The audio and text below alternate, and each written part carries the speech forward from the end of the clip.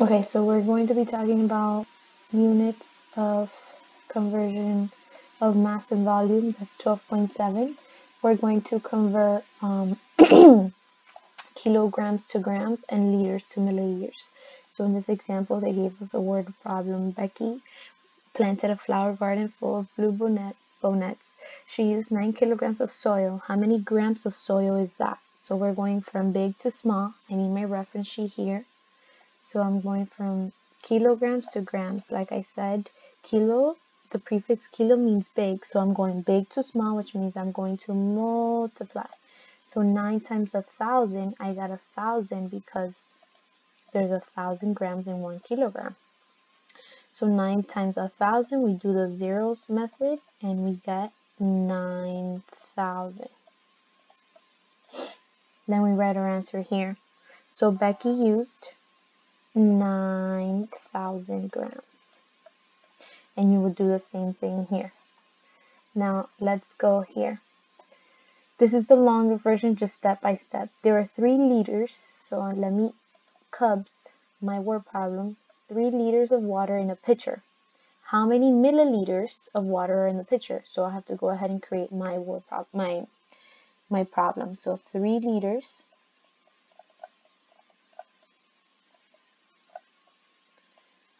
how many milliliters? It's supposed to be. There you go. So I go back to my reference sheet. Liters to milliliters. How many milliliters in one liter? A thousand.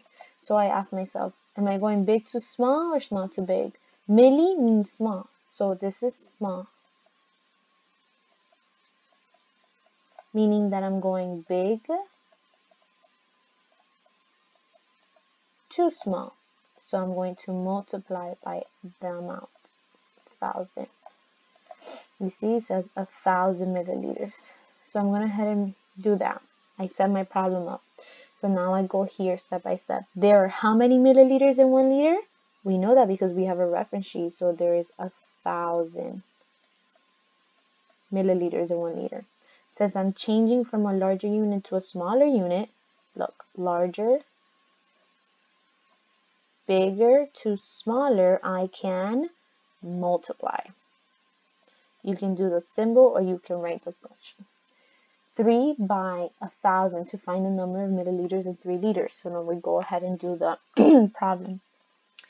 3 times a 1,000 is, we do the zeros method and you bring them over and you get a 3,000.